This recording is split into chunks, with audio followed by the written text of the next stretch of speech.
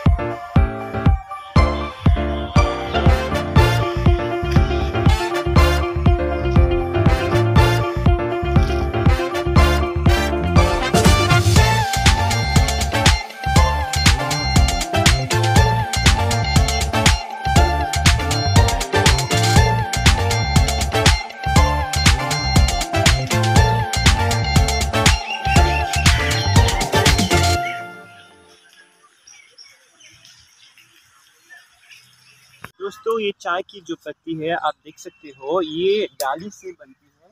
ये ये डाली को इसको निकाल कर इसको सुखा कर फैक्ट्री में ले जाकर इसको बनाते हैं, जो चाय की छोटी छोटी पत्तियाँ होती हैं।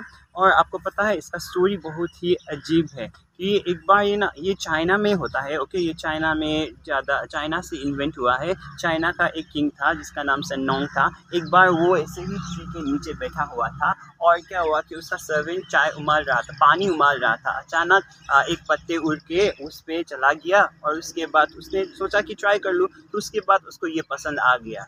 तो इसके चलते ये एक ट्रेंड बन गया, जो अभी चाइना से स्टार्ट होके म्यांमार नागालैंड और इंडिया भर में फैल गया है, जो हर एक चाय का एकदम एडिक्टेड हो गया है, चाय का दीवाना हो गया है। आपको पता है, चाय का एक ही पॉजिटिव साइड्स है, उसको आपको डाइजेस्टिव इम्यून सिस्टम अच्छा करता है और साथ साथ में आपका एंजाइटी दूर करता है। लेकिन हाँ छः कप से ज़्यादा आप चाय पियेंगे दिन में तो आपको प्रॉब्लम हो सकता है डाइजेस्टिव भी प्रॉब्लम हो सकता है।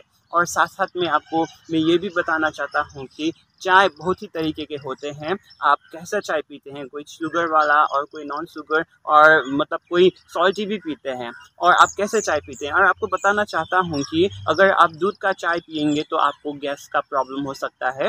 लेकिन आप वो दूध का, दूध वगैरह चाय पियेंगे तो आपके लिए यूज़फुल होता है। तो चाय ज़रूर पीजिएगा, लेकिन थोड़ा कम और अच्छी तरह से पीजिएगा। आपको कैसा चाय पसंद है, कहाँ का चाय पसंद है, ज़रूर बताइएगा। और मुझे बताइएगा वर्ल्ड में चाय का प्रोडक्शन सबसे ज़्यादा कहाँ पर होता है? नीचे कमेंट सेक्शन पे ज़रूर बताइएगा।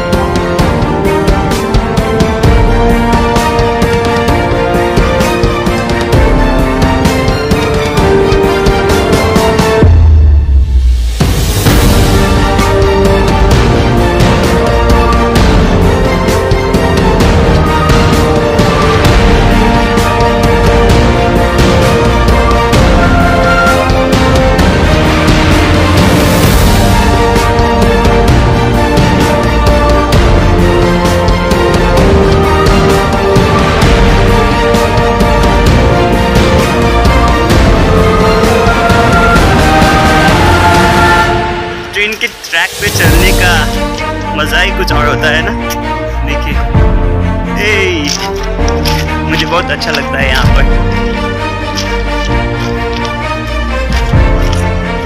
दोस्तों, मैं आ चुका हूँ टी गार्डन पे। आप देख सकते हो मेरे चारों ओर बहुत ही सुंदर गार्डन है। ये टी की गार्डन बहुत ही सुंदर है और मुझे वो यही कहना है कि यहाँ बिना बिनागुरी के ज़्यादा से ज़्यादा लोग टी गार्डन में काम करते हैं और कितने आर्मी कंटेनमेंट में भी काम करते हैं और उन लोगों का सैलरी टी गार्डन में काम करने वाले लोगों का सैलरी बहुत ही कम होता है और उनको घर चलाना बहुत ही दिक्कत होता है। काम नहीं है, करना तो पड़ता है, लेकिन काम करना अच्छी बात है। कोई भी काम छोटा या बड़ा नहीं होता है, काम काम होता है। और मैं बोलता हूँ कि आपको, अगर आपको कभी कभी कभी अकेले समय बिताना चाहिए, अगर अकेले समय बिताएँगे तो आपको, अपने आप को पहचानने को मौका मिलेगा और आपको भी अच्छा लगेगा। तो कभी भी समय मिले तो अकेले टाइम बिताइए और ऐसे ही टी गार्डन वगैरह घूमने के लिए जाइए। ज़िंदगी में घूमना पड़ता है, खाना पड़ता है, क्योंकि ज़िंदगी ही यही है। घूमना, खेलना, खाना, यही सबसे बड़ा चीज़ है, क्योंकि मेमोरीज़ गैदर करना सबसे बड़ी बात है। मिलेंगे अगले वीडियो में, तब तक के लिए बने रहिएगा।